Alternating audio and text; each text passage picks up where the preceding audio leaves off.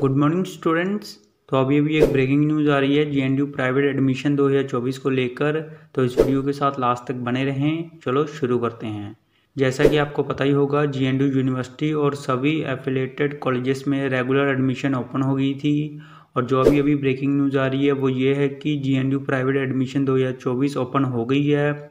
सभी graduation first third fifth seventh और ninth semester classes में। और पोस्ट ग्रेजुएट फ़र्स्ट और थर्ड सेमेस्टर क्लासेस में हैं। तो जिन जिन स्टूडेंट्स ने एडमिशन लेनी है, वो ऑनलाइन अप्लाई कर सकता है और एडमिशन करवाने की जो लास्ट डेट है, वो है सात अक्टूबर 2024 तो सभी स्टूडेंट्स सात अक्टूबर 2024 से पहले पहले अपनी एडमिशन करवा लें, क्योंकि सात अक्टूबर 2024 के बाद फ़ाइन पड़ना शुरू हो जाएगा।